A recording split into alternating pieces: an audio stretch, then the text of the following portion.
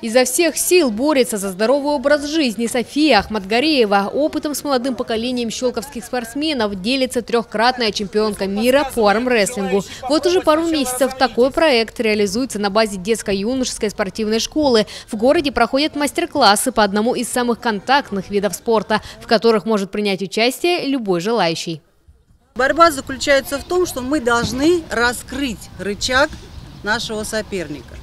То есть в любом положении мы должны его раскрыть.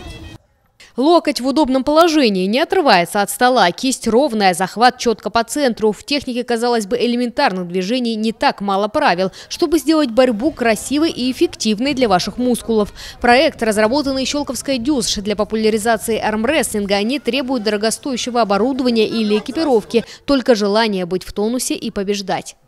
Вы сами видите, инвентаря минимум с одной стороны – очень доступный вид спорта, но в то же время, как вы поняли, исходя вот из того мастер-класса короткого, который София дала, э, все это требует определенной подготовки, есть определенная техника, э, качаются, видимо, закачиваются определенные группы мышц.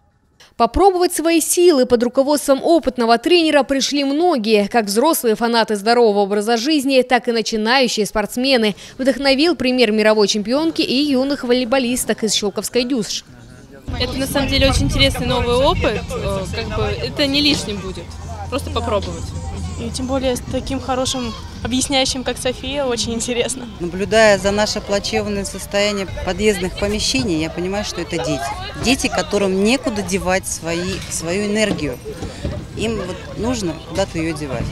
И мне хочется заняться этими детьми. Не даже с финансовой стороны, а просто, чтобы они так же бежали, как и я в свое время к своему тренеру, преподавателю, чтобы встречали на улице и улыбались. Такие мастер-классы при поддержке Щелковской спортивной школы София планирует проводить регулярно, но в перспективе организовать собственную школу. Вообще хотелось бы, конечно, сделать школу, школу армрестлинга, да, сделать базу и чтобы дети уже вышли на уровень, на уровень для начала Мособласти, Москва, а там недалеко Россия, Европа, мир. Александра Гранич, Игорь Поляков, телерадиокомпания «Щелково».